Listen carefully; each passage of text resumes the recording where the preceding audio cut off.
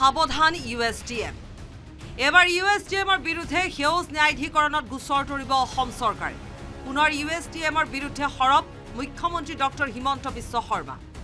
গুৱাহাটী কৃত্ৰিম বান প্ৰসংগত চৰ্চালৈ অহা মেঘালয়ৰ উচ্চ শিক্ষাৰ প্ৰতিষ্ঠান ইউ এছ টি এমৰ বিৰুদ্ধে এইবাৰ অধিক আক্ৰমণাত্মক ৰূপত দেখা গ'ল মুখ্যমন্ত্ৰী। মেঘালয়ৰ শিক্ষা প্ৰতিষ্ঠানত আক্ৰমণৰ লক্ষ্য কৰি মুখ্যমন্ত্ৰীয়ে ক'লে প্ৰতিষ্ঠানটোৱে অবাধে চলোৱা পাহাৰ খননৰ বিৰুদ্ধে সেউজ ন্যায়াধিকৰণত তৰা হ'ব গোচৰ। এতিয়া আমি গ্ৰীণ ট্ৰিবিউনেলতো যাম আৰু এনেকে ৰেহাই নিদিওঁতো।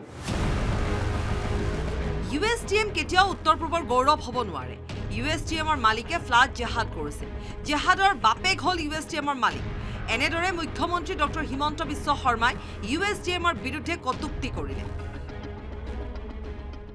এইটো জেহাদৰ বাপ কৰি আছে। জেহাদ মই কম কৈছো আমাৰ শিক্ষা ব্যৱস্থাটো ধ্বংস কৰি আছে তাতে। জেহাদৰ কি ডেফিনেশ্যন নাই? যোনে আমাৰ সভ্যতা সংস্কৃতিক আক্ৰমণ কৰে তাকে জেহাদ বুলি কয়। এটা বিশেষ ধৰ্ম কিয়? সেইটো জেহাদ নহ'ল নেকি?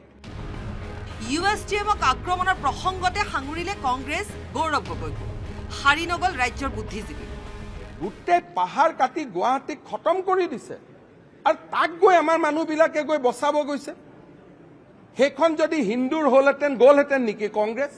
আজি তেওঁলোকে কিয় পৰামৰ্শ নিদিয়ে? যে দাদা আপুনি ইয়াত বৰদুৱাৰ গেটখনো বনাই দিয়ক।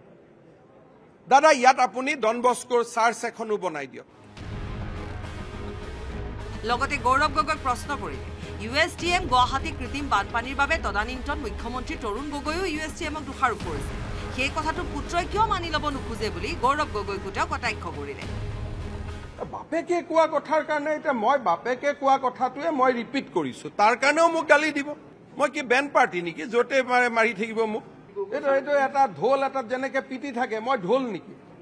কাগজখিনিতো পঢ়ি লওক নিজৰ দেউতাকে কোৱা কথাকটো সন্মান কৰিব লাগে ভাই। ইউ এছ টি এমৰ মালিক মুছলমান আৰু সেই ইউ এছ টি এমে ফ্লাড জেহাদ কৰিছে। তথাপিও কংগ্ৰেছে তেওঁলোককে সমৰ্থন কৰিছে বুলি অভিযোগ মুখ্যমন্ত্ৰীৰ আজি এতিয়া ইউ এছ টি এমৰ মালিকজন মুছলমান সম্প্ৰদায়ৰ মানুহ হোৱা বাবেই কংগ্ৰেছে এনেকে লাগি গৈছে উদ্ধাৰ কৰিবৰ কাৰণে। যদি সেইজন মানুহ হিন্দু হ'লহেঁতেন কংগ্ৰেছে কি কৰিলেহেঁতেন? ইউ এছ টি এমৰ মক্কা সদৃশ গেট থকা বুলি কৈ কটুক্তি কৰি মুখ্যমন্ত্ৰীৰ প্ৰশ্ন খ্ৰীষ্টিয়ান প্ৰধান ৰাজ্যত মুছলমান গেট কিয়?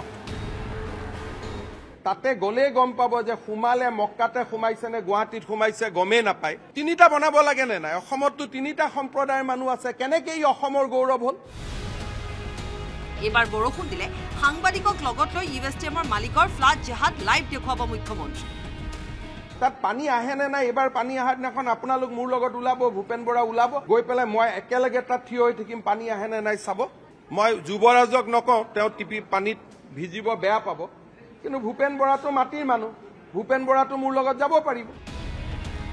কেমেৰাত সঞ্জয় বৰাৰ সৈতে বিপুল বৰ্মনৰ report news eighteen Assam north east.